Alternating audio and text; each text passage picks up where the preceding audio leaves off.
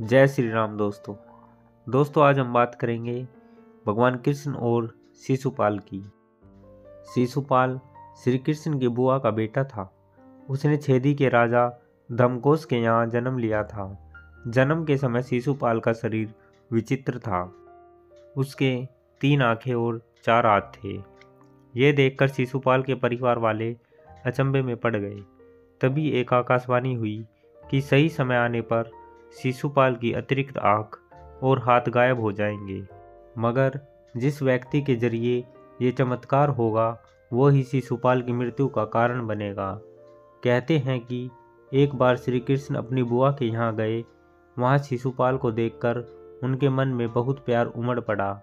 उन्होंने जैसे ही दुलार करने के लिए शिशुपाल को अपनी गोद में उठाया, उसके अतिरिक्त आँख और हाथ गायब हो गए। ये चमत्कार देखकर शिशुपाल के परिवार वाले खुश हो गए, लेकिन अगले ही पल मायूसी छा गई, क्योंकि आकाशवाणी के मुताबिक जिस व्यक्ति के ज़रिए शिशुपाल के अतिरिक्त आँख और हाथ गायब होंगे, वही उसका काल बनेगा। जब श्री कृष्ण को ये बात पता चली तो उन्होंने अपनी बुआ को आश्वासन दिया।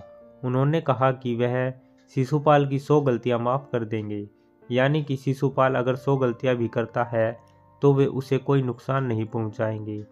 आगे चलकर शिशुपाल छेदी का राजा बन गया। एक बार पांडवों ने राजसु यज्ञ का आयोजन किया। इसमें सभी श्री कृष्ण विषम पितामह, गुरु द्रोणाचार्य, कौरवों के साथ साथ सभी महान ऋषियों और समस्त राज्यों के राजाओं को भी आमंत्रित किया गया। छेदीराज शिशुपाल भी सभा में मौजूद था। यज्ञ खत्म होने के बाद युधिष्ठिर को सभी महात्माओं की पूजा करनी थी। तब उनके मन में दुविधा पैदा हो गई कि वह सबसे पहले किसकी पूजा करे। तब युधिष्ठिर ने भीषम पितामह से इसका समाधान पूछा। भीषम ने कहा कि श्री कृष्ण परम वंदनीय है, इसलिए उनकी सबसे पहले पूजा की जानी चाहिए। जैसे ही युधिष्ठिर श्री कृष्ण की पूजा करने के लिए आगे बढ़े, शिशुपाल अपनी जगह से उठ खड़ा हुआ। शिशुपाल ने श्री कृष्ण की पहले पूजा करने पर सवाल उठाए युधिष्ठिर ने कहा कि भीष्म पितामह की आज्ञा से उन्होंने कृष्ण की पूजा करने का फैसला लिया है। शिशुपाल उन्हें रोकने वाला कौन होता है? शिशुपाल को क्रोध आ गया।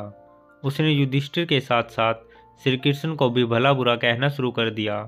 तब श्री कृष्ण उठे और शिशुपाल को शांत रहने के लिए कहा। उन्होंने समझाया कि वे उसकी सौ गलतियाँ माफ़ कर देंगे, लेकिन जैसे ही सौ से एक भी ज़्यादा गलती की तो वे उसका वध कर देंगे। श्री कृष्ण ने शिशुपाल को बचपन की पूरी कहानी सुनाई कि कैसे उनकी गोद में आते ही उसके अतिरिक्त हाथ और आँख गायब हो गए थे। शिशुपाल ने कृष्ण की एक न सुनी और लगातार उनका अपमान करता चला गया। भरी सभा में वह श्री कृष्ण के साथ साथ विषम द्रोणाचार्य युधिष्ठिर को भी भद्दी बातें कहने लगा। श्री कृष्ण ने आखिरी चेतावनी दी। उन्होंने कहा कि तुमने अब तक तुमने सौ ऐसी गलतियाँ कर दी हैं, जिनकी वजह से तुम्हारा वध कर देना चाहिए।